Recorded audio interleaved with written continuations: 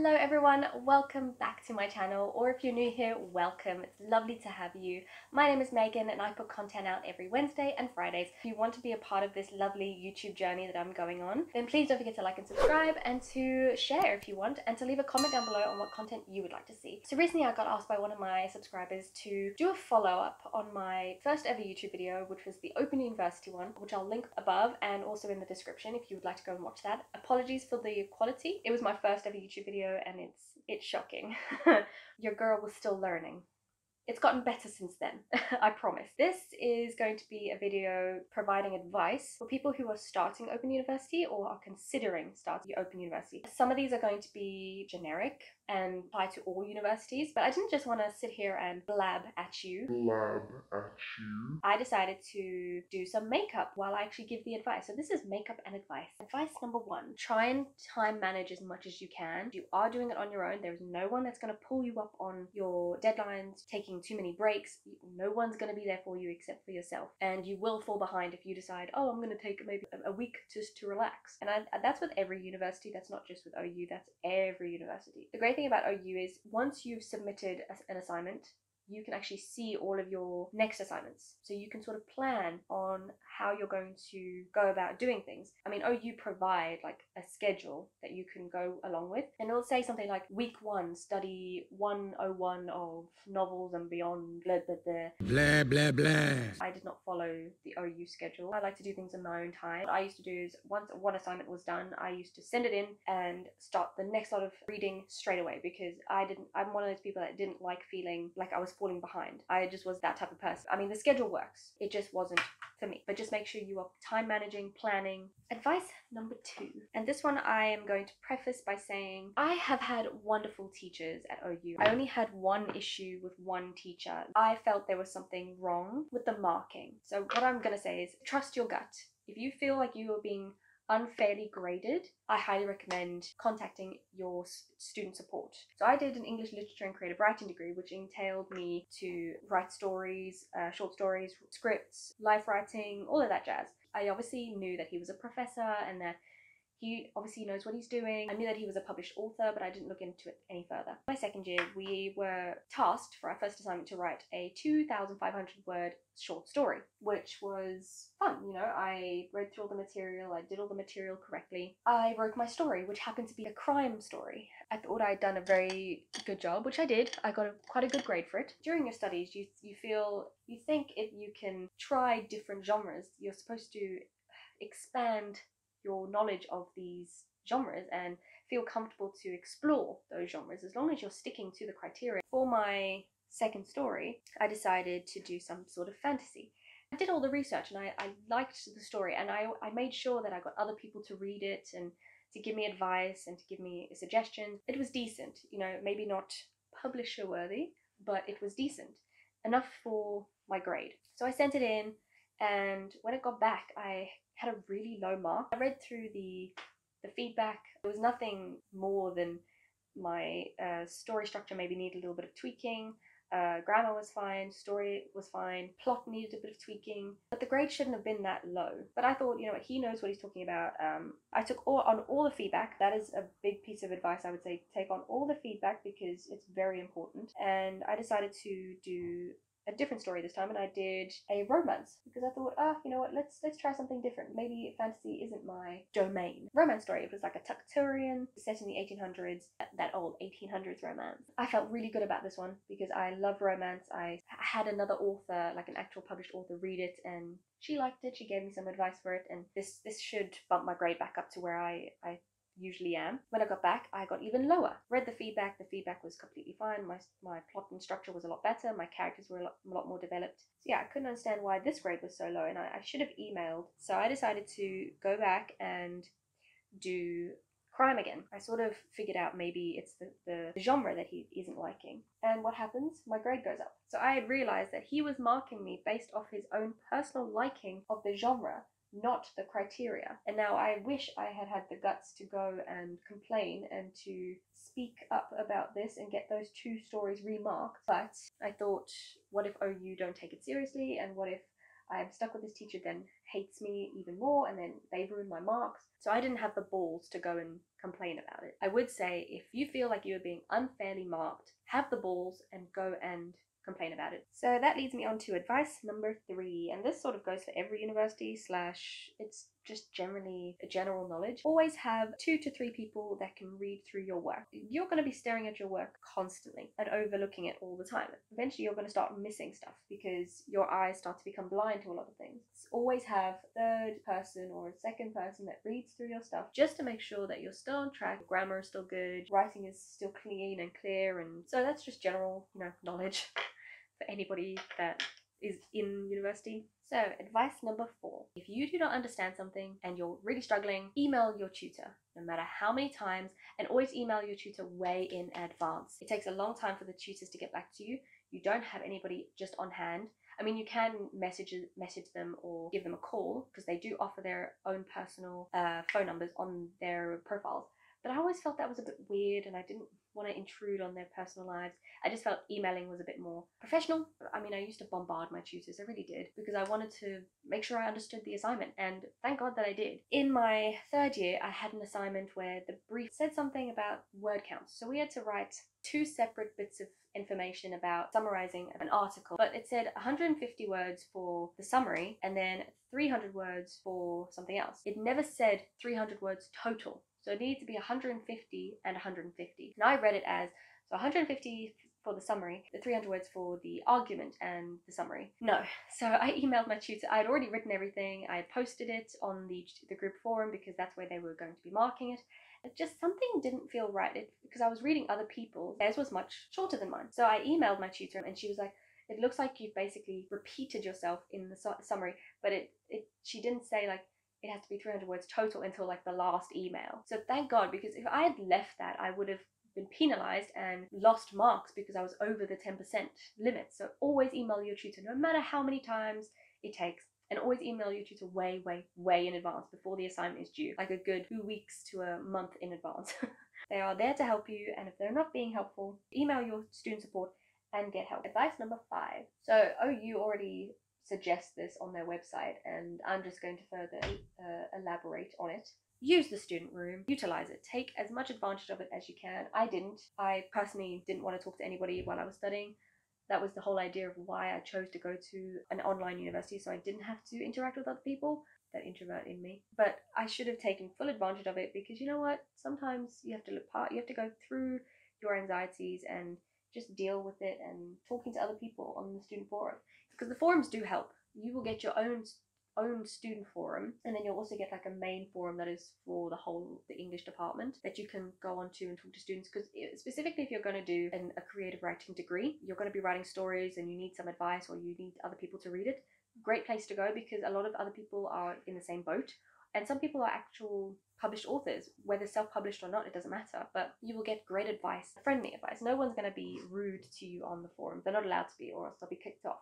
Bullying isn't tolerated at OU, which I do really appreciate because it's scary posting your stuff. I did utilize it a, a, lot more in my third year. We sort of had to because we had to be posting our stuff or else we would lose marks. It was just a way for OU to get more people involved in the student forum because a lot of people weren't getting involved.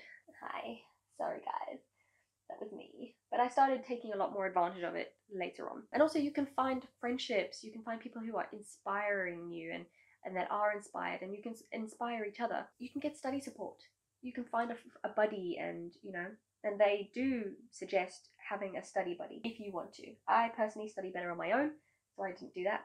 But you know they do recommend it. If you need to have commitment so difficult to get a first and a 2-1 with open university. So difficult. For traditional universities it's between you have to get a 70 and above to get a to get a first. For open university you have to get 70 to 84 to get a 2-1 and 85 and above to get a first. And that's why employers take you so seriously because they've seen that you have the commitment. They've seen the type of work that you have to do the type of self motivation you have to have to be able to do an online degree because like i said no one's there to, to really support you other than yourself. So it is a lot harder the commitment has to be there and if you're not going to have the commitment then i would suggest not doing it. And also because of the, how the grading works and how much harder it is bear that in mind if you do decide to go with ou found that this out quite recently Like I only found out last night to, to get a 2-1, you have to have 70 or more to get a, a 2-1. Advice number seven.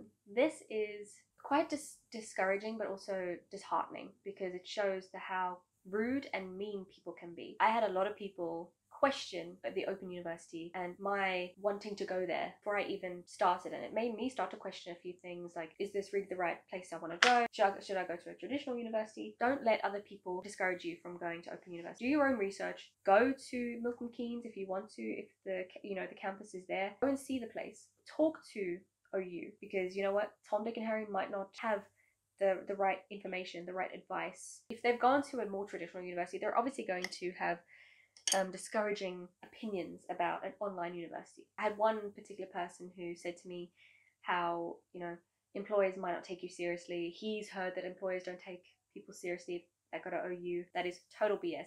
There are I am on the alumni group on OU eh, on LinkedIn, and the positions that some of my alumni, uh, you know, people, um, they're in amazing positions. Managers, CEOs, um, self-employed, business owners, they are doing so well. And you want to tell me that employers don't see Open University as legitimate? And you know, I had one person say to me, "Oh, why do you want to go to Open University? You know, it's not a real university." I had I had people say that to me, and they questioned the research that I had done. I wouldn't have chosen to go to Open University if I hadn't done my own research, talked to OU, um, spoken to people that had gone to OU, myth. And then I also had someone say, like, I'd finished my first year and I hadn't studied in a long time. I was doing more, I was doing other stuff uh, for the past six years and I never thought I'd go to university. So, of course, I may struggled in my first year picking it up. My grades were still good, I was getting there. But I had someone say to me, Oh, why don't you go to a normal university? next year for your second and third year. And I, I did think about it. I, I, I thought about it and I thought maybe I could just do that. Maybe I could just transfer my grades over.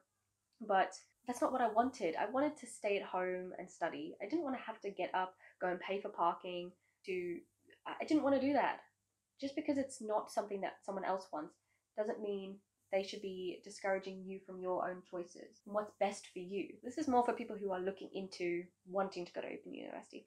If you are scrolling through all the courses and you happen to find three or more that sort of link to each other or overlap one another. So you've got some of the modules that are the same as um, this one, this other course that you're not too sure about which one you should do because you're not sure which um, one is going to be best tailored to you.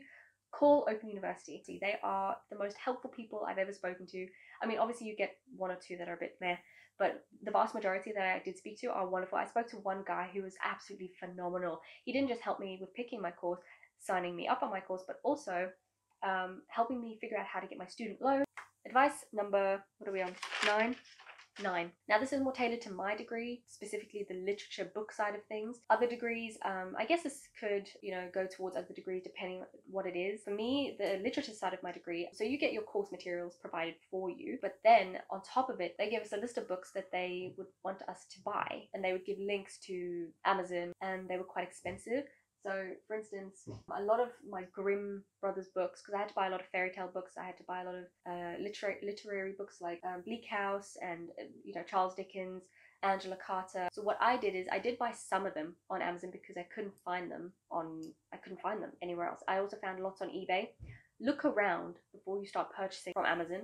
I know it's easier because then you know you get your book straight away, but what I did is I went to charity stores, I went to antique stores, which is where I happen to find. I have so many more than just this, but I happen to find the complete works of the Grimm brothers. I've also got the Hans Christian Andersen books as well because we had to do fairy tales, which I absolutely loved. Loved doing fairy tales. And then I also got Charles Dickens' Bleak House.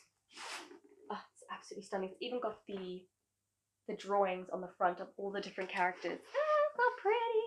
I highly recommend if you if you need to buy books, if, go to all the antique stores, the charity stores, because most likely you will find hopefully one or two of the books that you're going to need. But also go on eBay, it's cheaper. Sometimes it's not though. I did find that some of the books on Amazon were much cheaper compared to eBay. But also if you're gonna if, if a book is way too expensive to buy paperback and you're not going to read it ever again, get it on Kindle because then at least it's way cheaper. And the great thing about using a Kindle is you can actually search up words and they'll come up and all the passages that you need. So I did find that very useful when it came to using my Kindle. But obviously this is very subjective to the type of degree that you're going to be doing. This is this just worked for my degree because um, we were reading a hell of a lot. Find your study pace. This goes back to the beginning. You know, everyone works at their own pace and you're going to find your way. You're going to find your own way of doing things, just like I did. You don't have to follow the OU's way of doing things, but you know what? Sometimes that is best if you're the type of person that needs a structure, that has been given a structure. So, yeah, that's just like repeated advice. And about the grading, if you would like to find out more information about how they grade, how their grading system works, I'll link that down below if you need any more information. Another bit of advice I would say is make time for yourself. You know, we can't afford to take so much downtime because of the, the time restraints but I would suggest finding a day, at least maybe one day after you've finished one assignment and you've just sent it in, or a day in between. But take a day to do something for yourself. I think we put way too much stress on ourselves. That's something else I can say. Try not to. You are already going to be stressed enough as it is doing an online degree because you're going to have people telling you, Oh, it's not a real degree. And I guess my last bit of advice is with everything that you do, find the fun in it. Don't don't always stress about, oh, am I gonna get this done? How am I gonna get this done? I'm just gonna finish this off camera and then I'll come back and say my goodbyes. Okay, and my final bit of advice slash um, goodbye to you lovely people is if you are starting Open University, good luck. You are going to do fabulously. Don't let other people discourage you. You are going to do amazing. Take all the advice that you can from your OU tutor and from other students that are doing that are at OU. It is a journey. Enjoy every second of it. Small achievement because we have to. We have to enjoy every bit of achievement that we have, despite how small it is. Take the achievements where they are because there's going to be stresses, and the more achievements you have, or the more enjoyment that you have, those small successes, it's going to make all of it seem so well worth it. And at the end of it, you will have your ceremony and you will be holding your degree and you will throw your hat up and say, you did it. And my ceremony will be in November and I'm very excited. Stay tuned for that video because it's coming, it's coming. So good luck to you. Good luck on your journey and to any graduates that have just graduated alongside me or graduated in the previous years but couldn't do their ceremony. Congratulations. I'm super proud of you and I hope to see you at the ceremony. Have a lovely day guys. I hope you enjoyed the video. Please don't forget to like and subscribe. I finally did the makeup. Um, they're not the colours that I would have liked, but I'm kind of loving this lip though. So yeah, I hope you liked the video. Have a lovely day and I shall see you in the next video. Bye guys!